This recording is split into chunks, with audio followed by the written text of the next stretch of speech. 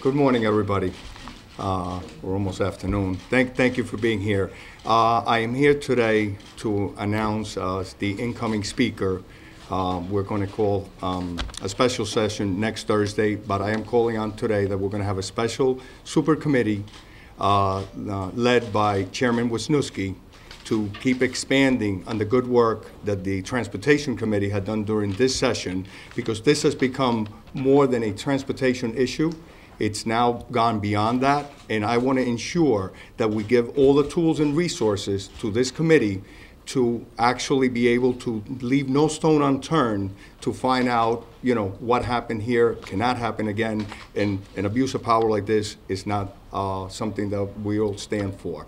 Um, We're going to seek, uh, we're going to have independent counsel that we're looking into. So this committee is a committee that is going to sit both uh, Democrats and Republicans on it. It'll be a super committee. The members are still to be determined.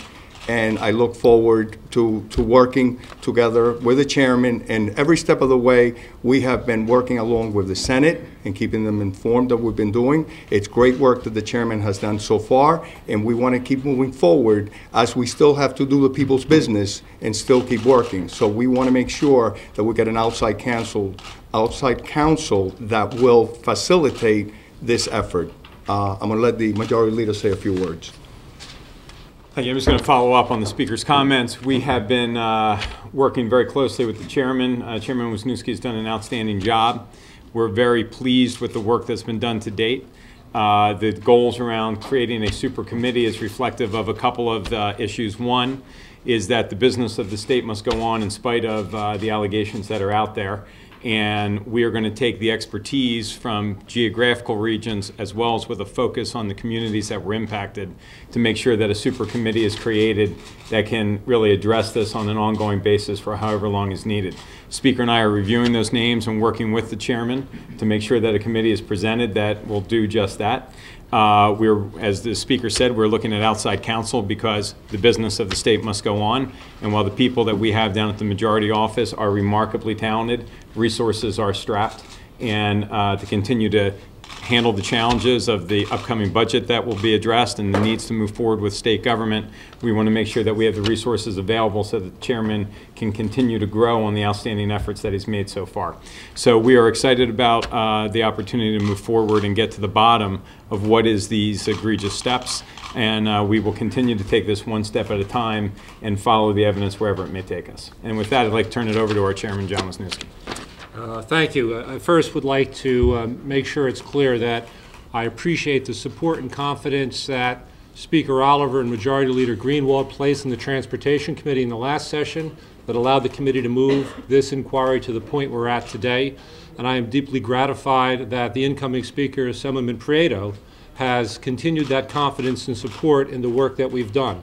But I think the Majority Leader and this incoming Speaker have both pointed out that this investigation, which started out as an inquiry into the operation and finances of the Port Authority has grown into a much larger investigation that has led us, by following emails, into the governor's office. And so the effort that is going to be required is much greater. Uh, the staff resources that are going to be necessary is much more severe.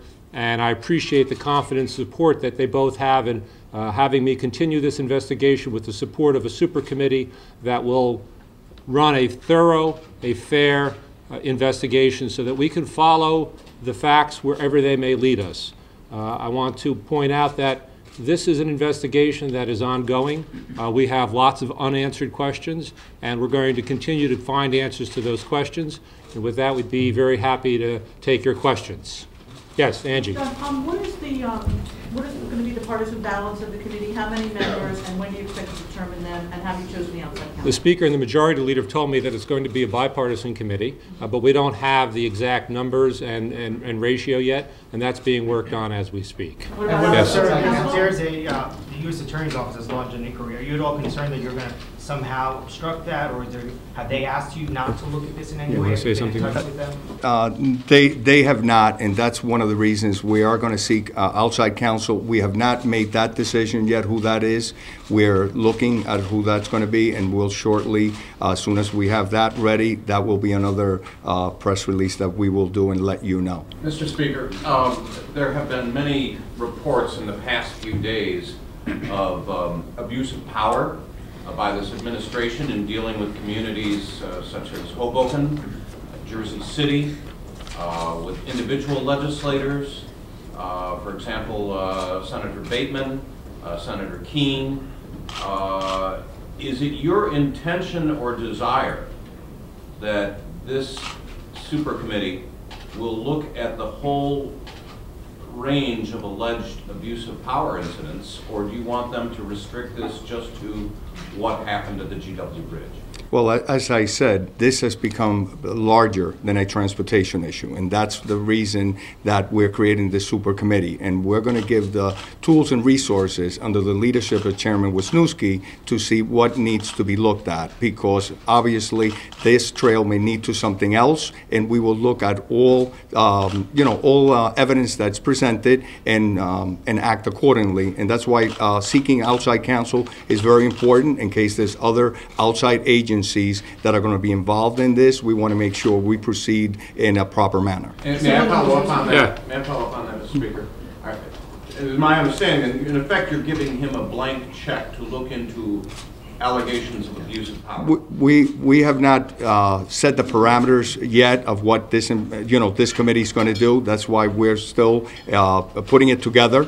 We're going, like I said, seeking outside counsel, so that way we can give the chairman, you know, the tools that, to continue the work that he has done so far. So I'm not by any word, uh, uh, uh, any words saying that I'm uh, giving a blank, you know, blank check to be uh, uh, written later, but we are going to investigate, you know, anything, if there's abuse of power, we want to know about it. And I think, I think what we believe also is, those allegations that you just referenced are not, um, the importance is, where is the root of the problem, how deep does it go, and who was involved? But the allegations that you just raised, I think, are more about whether or not there was a culture in the office that would allow something like this to happen, which is more important uh, to this specific case, and where else it may go is where the evidence will take us.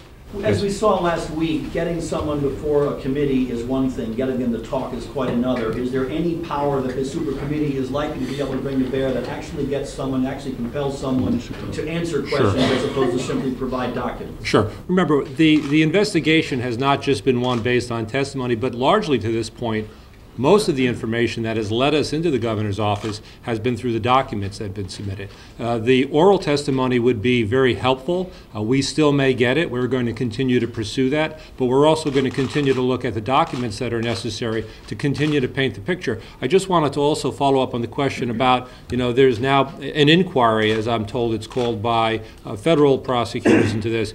Let's also be clear that we are a legislative committee and a legislative body. Our job, uh, our concern, is that there was apparently a very massive abuse of power and an attempt to conceal that abuse of power. Uh, Before we learned of this, we would have all believed that something like this could not happen. And so we know we need to change laws to make sure it doesn't happen. It's not sufficient that four people have left their jobs either at the Port Authority and the administration, because the next people who occupy those jobs will potentially have the same ability to abuse the power. So the Port Authority and other agencies are going to need a drastic overhaul. The only way we can do that effectively is to understand how this happened and the chain of command that allowed it to happen. Just a quick follow-up, could you imagine granting some sort of immunity for some of these folks, a a couple of key players, to see if you could loosen some tongues here? Well, we already have a statutory provision that says when you're called before a committee of the legislature to testify, there is immunity attached to that. And uh, when we had the committee meeting the other day, there was some dispute by Mr. Zegas, Mr. Wildstein's attorney, but we'll continue to operate under the statutory authority we have. As far as law enforcement granting any type of immunity, as you saw, Mr. Zegas had asked for that. That's something for he and his client to discuss with the relevant law enforcement agencies. Yes. Chairman, will you be sending out more subpoenas today or waiting for the new session to begin? I think the safe way to approach this is our legislative authority under this existing uh, Committee expires tomorrow at 12 noon. On Thursday, there'll be a special session in which a resolution is considered and probably adopted that will grant subpoena authority to this new super super committee. The safer and more practical way to approach this would be, let's wait for that new authority to be instituted. Uh, I don't want to have the committee do work, issue subpoenas, only to give some lawyer an opportunity to be in court saying, well, because the authority expired at noon on Tuesday, why go through that exercise when we can just do it right on Thursday? Who would you expect to try to call within the governor's inner circle? And would Well- you call him your- himself? Would you Well, ask for the let's start with your last part. I think it's very premature to be talking about calling the governor and subpoenaing the governor. Uh, We know that this has led into his inner office, and we know the name of the person in his inner office who was involved in it. And so the committee is likely to start with what we know. We know that Bridget Kelly sent an email that authorized it, and we want to know more about her emails and other communications. There may be other facts that come out of that. And so I think it's premature to start creating a list. I mean, clearly, you've all seen many of the emails, and there are a lot of names in those emails, and you could conceivably have a list that includes all of them. I don't know if that's practical or realistic to start talking about today. We've approached this investigation one step at a time, and my hope is, is that with the support of the majority leader and the incoming speaker, that we continue to do this one step at a time, follow the facts wherever they lead us. Will you call Mr. Stepien, sir? Will you call his campaign? Well, I think those, uh, Bridget Kelly and Bill Stepien are the two most likely next individuals, and probably ask to look at documents first before we call them in for testimony. And there may be others, but I think we'd be getting ahead of ourselves if we started creating a list today, because the facts change as we get information. And so I could give you a name today and see documents next week that change that list. When do you think they might actually be called then? Actually, Like I said, I think we're ahead of ourselves. I think it's likely that with the reissuance of the authority on Thursday, that subpoenas will be issued on that day, uh, and then we'll move forward from there. Yes, Luke? Uh, It looks like uh, Senator Weinberg's uh, office recently put out a statement saying the Senate hopes to play some role in this process as well. Does this super committee have senators on it as well as just the Assembly? And how will they be incorporated, if at all? Let, let me just say this about Senator Weinberg. She has been an invaluable partner to me uh, from day one of this investigation. Uh, in all of the discussions and deliberations of the committee, although she's not a member, she has been an integral part in bringing her experience, both representing Fort Lee, in her understanding of the dynamics of the communities up there, as well as her insight into the things we ought to look at. I envision Senator Weinberg continuing to have a role working with me as we move forward. Speaker? And, uh, and just to elaborate on that, the Assembly had the lead on this, and I did not want to change that uh, from the chairman. And uh, we've been working well with the, with the Senate, and as he said, uh, Senator Weinberg has been an integral part of this. It is her district, but at this time, I thought it'd be better served that we continue what we were doing to just make sure that all the work we already had done, we can just uh, e- expand from there with all the proper tools that this committee now will have at its disposal to keep moving forward. Yes. The records released Friday show that the governor's authorities director, Regina Egea, now, uh, you know, the incoming chief of staff, was copied on this email from Patrick Foye as early as September 13. Is she someone you're considering subpoenaing? Well, I think the, uh, the the revelation that Regina Egea was on the email goes to the question that many of us have with the governor's strenuous denial of any knowledge prior to January 8th. When you have so many people in his upper-level senior circle that received information about the fallout, the traffic jams, and the efforts to spin the traffic jams, in the context of a governor running for reelection, it strains credibility to say that all of these senior people whose job it is to communicate and keep the governor informed did absolutely nothing with these emails. And that's why we need to start and do this on a piece-by-piece basis to find out who else in the governor's office was involved in the decision that gave Bridget Kelly the belief that on August 13 she could issue an email to close lanes. Angie? Now, do you have the special counsel selected, and if not, when do you all expect to name that person? Yeah. Speaker? Do- We do not have that uh, council selected yet. Uh, Hopefully by as early as maybe Wednesday, we may make that announcement, and we're working on that. Yes. Are you looking for someone that's like a a formal prosecutor in terms of the counsel? We're, we're, it be someone who can help you with the investigation or more along the lines deal with some of the legal issues that you guys could potentially? it could be a combination of both, so we're looking at all uh, the options on that. Yes. How do You you guys- mentioned an overhaul at the Port Authority. Based on what you've been able to read in these documents, besides Bill Baroni, who's already resigned, and David Wildstein, who else there at the authority do you think needs to be held accountable, based on what you've read so far? Well, I think it's, again, it's early to say who should be held accountable, but I know that there are people there that we need to ask questions of or to get a better understanding. I need to understand why Chairman Samson would uh, be involved in an email communication that talked about him helping to retaliate after Patrick Foye stopped the lane closures. Uh, That's a very strange and disturbing development uh, because it's not obviously a normal course of conduct for anybody to chair an authority to retaliate against one of the employees of the authority doing the right thing. And so we need to understand why, and then we could talk about who gets held accountable. Yes? Can you uh, comment on administration members and Port Authority officials switching these conversations to private email accounts, continuing on, et cetera, et cetera? That's a very disturbing development because you see some of these communications start uh, with normal governmental email channels and then switch to private email channels. And if, as the story was originally put forward, that this just was simply a traffic study, and you're talking about a traffic study, even if it went bad, you wouldn't switch to your personal email accounts unless you thought there was a reason.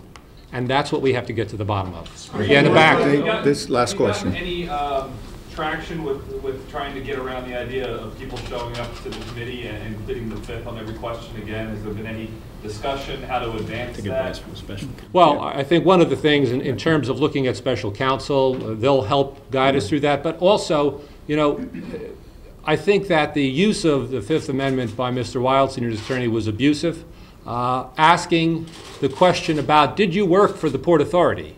Uh, does not seem to rise to the level of any potential liability, yet he invoked the Fifth on that and other questions such as, is this your email? And so I don't know that we can presume that everybody who comes is going to abuse that, uh, that right, uh, but we're going to take it step by step, and I don't think we can make a judgment today on what's going to happen until we actually see them come.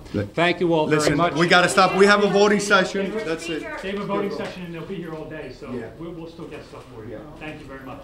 Thank you, everybody. Thank you.